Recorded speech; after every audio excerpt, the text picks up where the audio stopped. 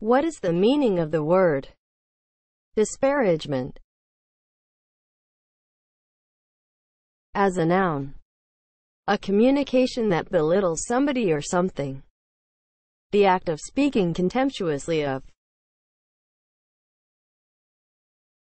Disparagement is spelled D I S P A R A G E M E N T. Disparagement